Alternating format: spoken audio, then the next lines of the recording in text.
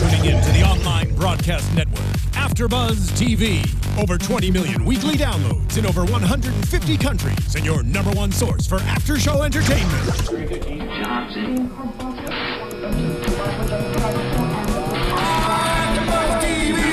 TV, the destination for TV superfans, producing after shows for over 300 of your favorite TV shows, interviewing celebrities and showrunners, and bringing you behind-the-scenes exclusives. All thanks to E Entertainment's Maria Menounos, producer Kevin Undergaro, and internet leader Akamai. Now, let the buzz begin. Hello, everyone, and welcome to AfterBuzz TV's recap show for Sailor Moon Crystal. I am Kaori Takee, and with me I've got the lovely Megan Salinas. Hey there. And we are the two woman crew, and it's going to be awesome. awesome. Okay, so we are going to be recapping Act 11, Reunion Endymion, and overall thoughts before we get into it. I I'm kind of torn because I remember in the you know, I hate to be the one person on this panel that's always going, well, in the original. But yeah, it's okay. in the original, this particular arc went on way too long. Like Uh-huh. they they dragged out this particular story arc of Endymion being evil. They dragged it out for way too long and it was agonizing. On the flip side of that, it was still good like it kind of it like it was it was agonizing but you know it was i remember really enjoying it. It lasted way too long but i remember being really invested. I had a hard time getting invested in this one in particular. I, I kind of felt a little underwhelmed for the execution this time around. Okay. i don't know why.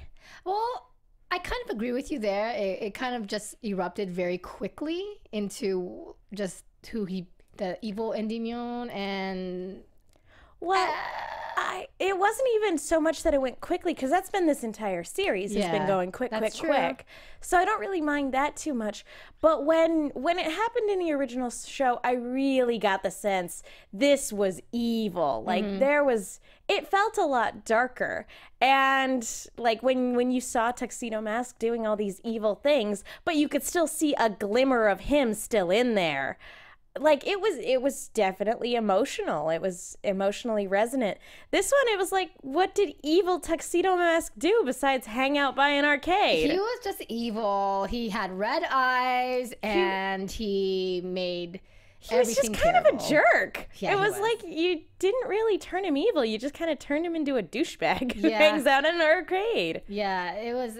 It was supposed to be pretty dark at, um, act, and I was looking forward to this one. I'm with you. I was a little underwhelmed. However, overall, I think that what this one is supposed to really do is lead up to what's going to happen in the next episode. Yeah. Um, and, and that's the thing. I like the brainwashing trope. I like when somebody, you know, I like the tropes where it's like somebody's being controlled and, mm, you know, mind control and all that stuff. I like that stuff uh, because I think it's a good source of drama. But I just felt, eh, I don't know, something didn't stick with this one. Maybe I mean, obviously, yeah.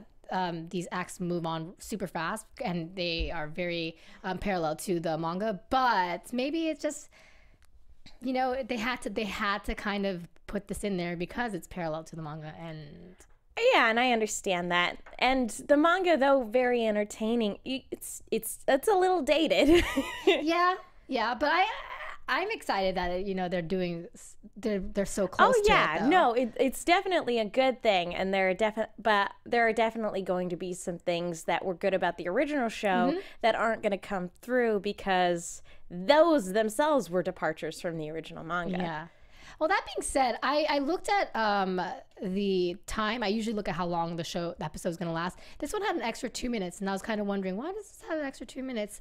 And then I noticed that the transformations were completely glorified in this episode, and I completely appreciate that. You know, I, except for Sailor Jupiter, she I was none gonna say for for a moment I thought we were going to get all of their Yeah. transformations, which would have been the only time that they had all gone through each and every one of the transformation sequences in full. But Sailor Jupiter was knocked out, so we didn't even necessarily get that. Yeah, we didn't. And I was wondering, where the hell is Artemis? Yeah. Weird, right? Because he's in the manga hanging out with Luna, like sitting there. Yeah, kinda- no. Once once they like once Sailor Venus came in, like he and um, he and Luna were inseparable after Yeah, that. Basically, so I'm just kind of curious. What did they do? The white cat? They didn't want to draw him in there, or what? You know, but was he off researching something? I don't know. No, It's just, I mean, he's obviously not in the control room. Where did he go? Drinking milk right now, or what? Anyway, so let's uh, talk more about this episode. It starts off um, with the emphasis in the beginning of how much Usagi has come to love Luna. Luna's trying to sit there and help her because she wakes up from a bad dream, reaching out to Endymion, you know, failing, and then she actually accidentally steps on Luna or drops her or something. I forget. Um, And- Luna woke her up, and so I think Usagi like sat up really quickly. that.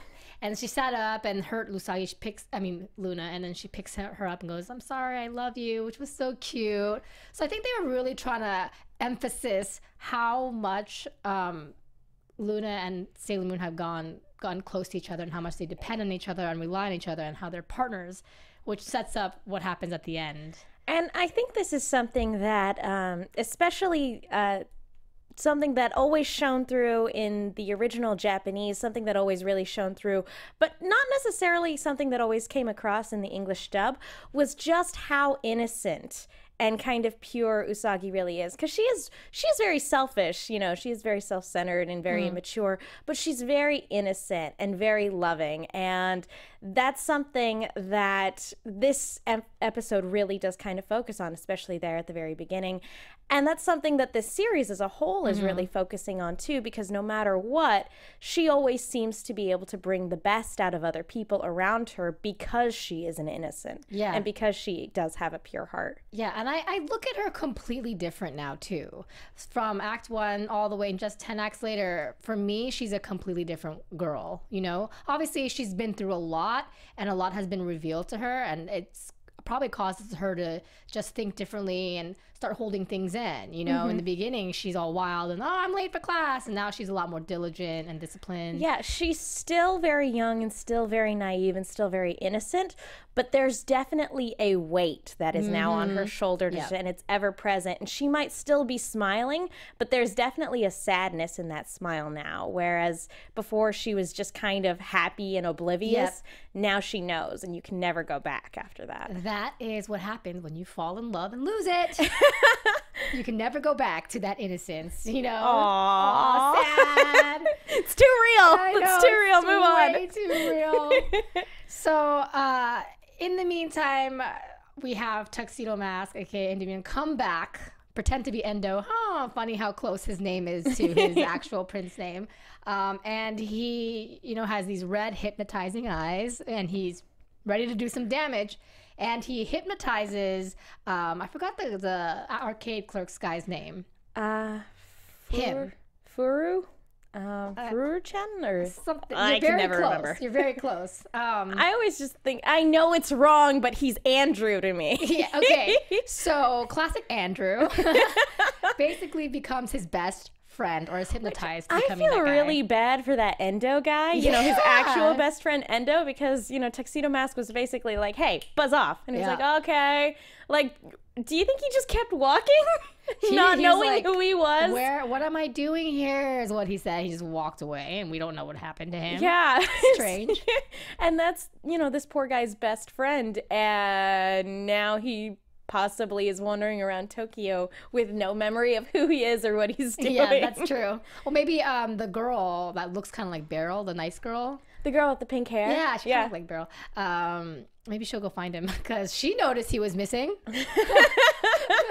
yeah, she's the only one that's like, hey, that guy who's actually your best friend, where did he go? Yeah, he, yeah, exactly. And that was kind of cool. I liked how they they emphasized um, when she had carried her textbook of gems, all the four. You know, Yeah, I I, loved it. I thought it was hilarious um, because it's super on the nose, Mm-hmm. but at the same time, it's like, okay, no, that's kind of cool. Yeah, it's really cool. I thought it was super cool, and I like how uh, Endo, fake Endo, says. Oh yeah, I have those. I have them all. It was amazing. I was like, yes, you do. So it was good. pretty spectacular. Yeah. I mean, it it was I I loved it, But the show is not subtle in No. any way, shape, or form. It is not subtle. Well, I think I think it goes under the premise that and most people who are watching it are not first timers into the show, so mm-hmm. they're just like, why the f not? Let's just I get actually into it. do kind of feel bad because I, I I know it sounds weird, but I think there are people who are watching it for the first time well, and they've them. never. That's which, awesome. Like, when we got to episode ten, their minds were blown. Yeah. Like they had no idea any of that was coming. And so apparently Tumblr went a little nuts because for people who if this is your first time going through the series, that is a lot of information to just drop on them. it's a big part of me that thinks you are so lucky to be going through this the first time around because no, there's nothing like your first. It's amazing. Um, so anyway, we all know that the control the control room is underneath the Sailor Moon. Um, excuse me, Sailor Venus, Sailor V arcade game, which is kind of weird, but it's underneath there, and Endymion is hanging da- hanging out, hoping to find out where it is, even though he's right there, and he's sitting there trying to hypnotize everybody, including Usagi. I thought it was very interesting that um that first of all that they knew exactly where the control center was to begin with. Mm-hmm. I I don't remember if that had been revealed to them at some point, but yeah, they knew exactly where it was. Wait, who are you talking about? The The the bad guys. the bad guys. Well, he was looking for it, from what I understood. He was looking for it, couldn't find it, and then the Sailor Jupiter came in and said, "Hey, watch out for my girl," whatever, trying to back her up, and he hypnotized her. I think it's really funny that somebody who's been hypnotized is using hypnotism to you know, to take control of other people. Good point. Good point. Well, he's just evil. He's like a evil droid-ish person now. So yeah, I think that Sailor Jupiter is the one that actually led him there. Oh no, definitely. That's that's definitely what happened. I just why go there to begin with? Like unless they already knew that That's the control true. center was oh, down I see what there. you're saying. Like, why go to the arcade to begin with? Mm-hmm. Well, I think I would just guess that he probably instinctively knows that that's pretty much where you're going to find Usagi because we know. Well, yeah, That's where I, you're gonna find I guess that makes sense too. If he's retaining some of his memories from from before, then he knows where Usagi and her friends are Mm-hmm. always hanging out, and he knows that Usagi is Sailor Moon. So of course, if that's where they're always hanging out, then that's probably where their little base of operations yeah. is. Yeah. Okay, I, think that makes more that's sense probably to me. what happens. Anyways, that's where a lot of things happen in the, in that little arcade. You need an arcade like that. Um, Sailor Moon or Usagi is completely mesmerized but confused because it looks just like her man, but she knows that he's not in this world at this moment. So Mm-hmm. she's kind of hesitant, but she doesn't want to not believe that he's back at the same time. Uh, you know what? I think this is what was throwing me off about Mm-hmm. this particular episode because Sailor Moon is so inactive when it comes to. Because I feel like in the other series, if she saw him, she would have just gone straight for him. Like, that's him. I know it's him. Even if it's not, if he's not acting like himself, it is him. What have they done to him? Mm-hmm.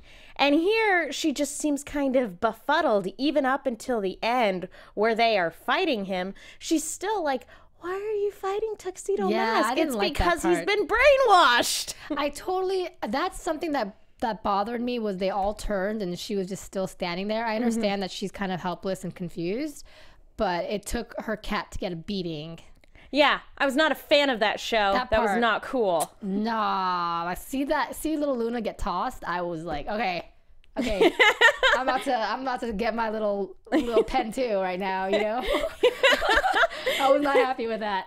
Um, No, those are dangerous things when you put stuff like that in a show because then you're going to throw something at the screen and then you have to go and get a new computer. And that's no good for anybody. And nobody budgets for that. So stop it, show. I don't need that in my yeah, life. none of that. Bring Artemis back as well. Where, okay, but Maybe that's why he had to shoo away for this episode, is because that wouldn't have happened if he was around. That's you know what that's probably true, and that, that was probably the most emo- most emotional part of this act was when Luna said, "I understand now who you truly love." Yeah. Aw. I know, it was so cute, and she held her, and you know, sweet.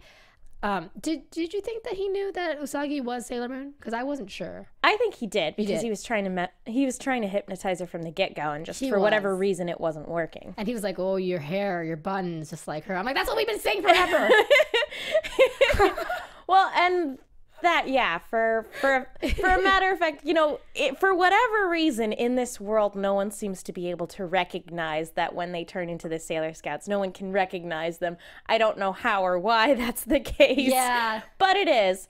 And so that's a concession of the world whatever. Um, but he goes ahead and he's able to point it out and i feel like this is the type of world where he wouldn't notice if he didn't already know. That's yeah, I think so. And you know, um, it was kind of parallel in a weird way when a couple acts ago when Usagi wakes up in his bed Mm-hmm. and she's walking out and she forgets her backpack. Yeah That was creepy because it, it was happened again. super creepy. Yeah. Um, I was almost expecting him to do exactly what he did before because on the first one, you know, he kind of bonked her on the head with Yep. her bag and it was really cute. Whereas this, he's like, You forgot your bag. And you're like, Run, Usagi! Yeah, Get away! Stranger danger! She was completely confused. Completely confused. Um, so this meeting, this chance meeting with him, came right be- right after her meeting with her sailor scouts, who I guess they were having a sleepover. Um, they were they were having a meeting. They were talking about the sword and the silver crystal and all that other stuff. Um, but I did like how Usagi referred to it as a girls' night in. Yeah, that I thought was so. And she had all these plastic bags of food, which is like, oh, it's like she's going to a slumber party. yeah, yeah. I thought that was super cute. Um, and it, it's revealed basically that so Sailor Venus has a sword, Which is the sword she pulled from the stone in the previous episode. hmm and it's revealed that all there's poison pretty much everywhere on their in their kingdom. And yeah, it's kind of it's kind of really sad. Yeah, it's kind of sad that, you know, uh, just all the years of just decay have just seeped into everything that once was. It's kind of depressing. And they they they have a diamond that they they smash rather quick. I didn't really understand that. If you can shed some light for me. Um, I, like, I I'll be honest, I haven't read the manga, so I'm not sure if this was something to go into more explanation for that. But I think it was just to kind of test the the power of the sword and everything like that because Amy made a point that it was you know a diamond is the hardest substance on earth and so and the sword was able to cut through it and smash it to pieces. So that in and of itself is a very powerful weapon and I I don't necessarily know why you need beads or anything else when you have a sword that can cut through diamonds. Yeah. So we had that. They had a little. I thought there was going to be more coming out of that meeting other than that because if I guess this is going to definitely lead to something in the future, but didn't really cause any relevancy for this particular act, right? Yeah. I mean, again, maybe it was just kind of to to talk about the sword and about how again this how it's kind of poison now, um, or, or just at least not pure anymore, and maybe they'll have to go through something in order to purify the sword in order to be able to use it later down the road. Maybe maybe that was just the whole point of this particular scene. But yeah, it, it didn't really go anywhere. Usagi fell asleep and then snuck out. Which I don't know how you sneak out of an apartment like that without everybody else noticing. I can't leave my apartment without my roommate noticing. And it's like a beautiful apartment and it's gorgeous, but well, Amy's mom is a doctor. So Uh-huh. and Amy's a smarty pants too. Yeah. So the girls notice that they see this encounter with Usagi I and him. I love that Ray is like his eyes are red. I don't trust that. I know she's so so obvious about. Like, thank goodness for her because no one else really noticed that. I'm glad someone brought attention to that. Mm. And I I don't know, man. Like Ju- Sailor Jupiter going out there while the other girls are out. What she goes to talk to him alone. I don't know if that was a safe idea. Why did it that was happen? it was a weird it was a weird thing because you know they have Sailor Moon going off on her own and then following her. Why would they split up again after that? I don't know why they all wouldn't just Mm-hmm. immediately go into the arcade and be like, "Hey, Usagi, we gotta go." And Mm-hmm. why split up like that? I guess it's because they had to have someone get hypnotized, and it happened to be Sailor Jupiter. Which makes no sense to me because. Sailor Jupiter is, you know, on her own. She is so competent Mm-hmm. and is fierce and tough. I, I don't know why, you know, Sailor Moon would be suscept would not be susceptible to hypnotism, and Sailor Jupiter would be. Because they're all just as strong-willed as each other. So I'm not sure why she would fall prey Maybe to it's that. maybe it's the connection she has. So part of him's protecting her. I don't I don't know. I'm just thinking of different That's scenarios. that's the only thing I can think Mm-hmm. of. The only other thing I can think of is that it was a concession for the story because sometimes that happens. Sometimes characters act out of character so that you can get all your chess pieces where they need to be. Yeah. And I don't think that's good writing, but sometimes that's just what happens. no, that's that happens a lot more often than uh, we'd like it to happen. so. Yeah, seriously. Get it together, show. But I was, I was okay with Sailor Moon. I mean Sailor Jupiter being hypnotized. I don't mind that. It's just they didn't do anything with Mm. it. Because especially Sailor Jupiter because she is, you know, she again, she's such an amazing fighter and again so fierce and so strong. And they just knock her out and then that's it for her for the rest of the Yeah, episode. she didn't do much You can do so much with a hypnotized Sailor Jupiter. That's true. And they did nothing with it. yeah. I mean, she just led them into the control room. Yeah, and for a minute I was like, "Oh man, stuff's about to happen." And then it didn't. she actually like, do you still have your? So they're in the control room, and she's kind of enticing them to show that they have the legendary silver crystal. Mm-hmm. So Usagi brings it out, and there it is, and all of a sudden the alarms go on, and and then stuff. yeah she makes she makes a break for the silver crystal and ray knocks her out yeah, and then nothing happens with her after she's that just gone. I'm like, wow, Ray knocked her out. yeah it's not even like she woke back up and started fighting them or or anything Mm-hmm. like that it was just like okay she's knocked out she gets healed with you know That's kind of how I felt with all of them, though. Um, they all kind of just got knocked out really easily, Mm-hmm. you know, and that that was a little tragic. Uh, Ray kind of looked like she missed a kick and then got hit and knocked. Got which knocked why wouldn't you just light tuxedo mask on fire he has a big old cape just light it on fire and then he's incapacitated for the rest of the episode well why kick him when you have high heels and firepower i just i don't understand I, I liked Venus's use of her love chain. that was great and I, I did like getting to see Sailor Venus in the fight because I feel like this is the most we've gotten to see her fight Yeah. um, since she came into the show. Yeah, she really does kind of feel like the, the leader of the scouts in in a way, don't you think? Well, it makes sense because she's been doing this for the longest out Mm-hmm. of all of them. And she's been on her own for so long doing it. She didn't have other people there to back her up. Yeah.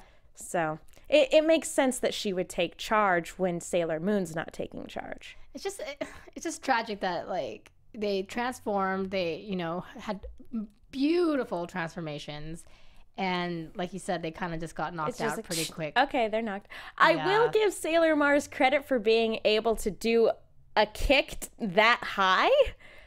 It just wasn't effective at all. I mean, yeah, I was like, why would she kick him? she is extremely flexible. She has so it was not a good kick, do. but man, did it get up there. yeah. Sailor Mercury tries her her um, water power. Yeah, I'll even give her a little bit more credit because she she tried to do something to distract it Mm-hmm. while while she tried to go for the crystal, but didn't work out. nope. It did not work out because ultimately, even after Sailor Moon transforms, and let's talk about that a little bit because it took her forever to finally realize, all right, you're hurting my friends. You just hurt my cat. I am going to transform. I mean, I know she's ass." been through a lot and it's Uh-huh. a lot to process. But if you're seeing and and granted I think we're also supposed to take that the transformations very happen very quickly Mm-hmm. and that the big show is just for us as viewers. Um, but yeah, if you're watching your friends transform, fight, uh, lose a silver crystal and get knocked sideways, you should probably do something other than why are you guys fighting? and look so estranged and scared and worried. So it took her too long for me for her to finally transform. So she transforms. Um, she uses her escalation power, healing escalation power. Everyone feels better again. But before she can get to Prince or Tuxedo Mask, Queen Beryl comes out. I will say that did surprise me. Yeah. I, as kind of underwhelming as this episode was, after how great the last episode was, I was surprised to see Queen Beryl there. I was like, oh, huh, you know, because normally she'll send out her henchmen to go and do everything for her. She doesn't get her hands dirty very often. To just to see her there in the command center, it was like, oh, Yep. oh, Which that's is- happening now. Which signals that it's this is about to war is about to happen. Yeah, and that, you know, again, when the enemy is literally at your front gate in your living room, you know, there's no safe haven after Yep. that. Yep. It's it's it's all hell's gonna break loose, and we're gonna see that in the next act in two weeks, right? Is there anything else we want to talk about for this show? Um, I I just that you know things are. We know that things are going to wrap up very very quickly um, because starting in January we have the next arc Yep. coming. Um, I will be very interested to see how it progresses. Again, because I haven't read the original manga, so I don't know how all of this wrapped up in the original story. All I know is that in the original anime, a lot of people died. and A it was lot of people died. heartbreaking. So it's going to be very interesting to see how things progress from there. Me too, and I hope I like. Um, we're kind of going ahead, but I hope I do end up liking uh, Chibiusa because I didn't really like her in the Japanese versions. But we'll see. We'll see. Um, let's talk about some news and gossip because I have Yay. one little snippet I want to mention. News. I don't know if you heard about this. I didn't. I haven't. Okay. Megan Fox um, has said that she would love to play Sailor Moon in a live action movie. What do you think of this idea? I think it's terrible. I, I mean, no. Please, Megan Fox, do not do this. You already April O'Neil. I managed to accept that, but do not be my little Usagi. You know what? I don't think Sailor Moon would be the right choice for her Mm-hmm. in particular. Maybe someone I could almost even see her as Sailor Mars. Uh, like if if she was going to be in a live action movie, I could see her more as a Sailor Mars because she, you know, Usagi and Ray butt Yeah. heads all the time. So I could see that. And and I actually don't really have anything against her as an actress or anything like that, but I don't think that's right either. That, that's what I meant. And I, I mean, I would like to. see- She could be something evil, like Queen Beryl. That'd be awesome. That I would watch that. Yeah. that would be fun. But I'll be honest, I don't know if I could watch a live action Sailor Moon movie. I saw Dragon Ball Z Evolution. Uh huh. And yeah, I saw it. it's not worth seeing. That's well, props to you because most people have not seen it. it's not worth seeing. Uh, unless you're going specifically to make fun of it, like me and my friends did, it's really Ah, not worth seeing. got it. But I mean, I would like, I don't know, because I've even seen a few episodes of the live action Sailor Moon TV show that they did way back in the day. I can't get into it for live. Yeah, it's- action. It's, it's kind of unreal. I, I like the idea of just sticking to anime or yeah, it's style. it's something that lends itself more to animation Mm-hmm. than it does live action because the campiness is is is acceptable. Yes. I feel like when all of a sudden it becomes live action, definitely something of the whimsy uh, and campiness of it is lost, and it just kind of looks ridiculous. Yeah, and then you gotta like think of the suits and how cool you're gonna have to make that look. Everything is just it, it's gonna take a lot to make Sailor Moon fans like ourselves happy. If that's the case, we'll see. And that completes our after show for today. We are gonna come back in two weeks for the next one, Act 12, which is going to be about Queen Beryl. And it's funny because it says, what did it say? Oh, it said Queen Beryl, but then they misspelled it or something. Uh, it was Queen Metalia. Metalia is actually the Yes, name of the that's next right. Queen episode. Metalia, excuse me, Queen Metalia, and they misspelled the L and the R. I'm like, oh my Japanese people, that's what happens all the time. Anyways, it happens. Yes, it does. I love you guys for it. Just makes me think of Japan. All right, so where can everyone find you? Uh, you can find me on Twitter at the Menguin. That's T H E M E N G U I N, and I'm also here for the Sword Art Online and Z Nation after so after shows tonight. So After so's. after after shows, whatever they are. So stay tuned for those. Stay tuned and check her out. And you can follow me at K A O R I O U S on Twitter as well as Instagram. And you can follow the whole entire AfterBuzz team at AfterBuzz TV. And then rate, comment, and subscribe. And we'll catch you guys in two weeks. From executive producers Maria Menounos, Kevin Undergaro, Phil Svitek, and the entire AfterBuzz TV staff, we would like to thank you for listening to the AfterBuzz TV network.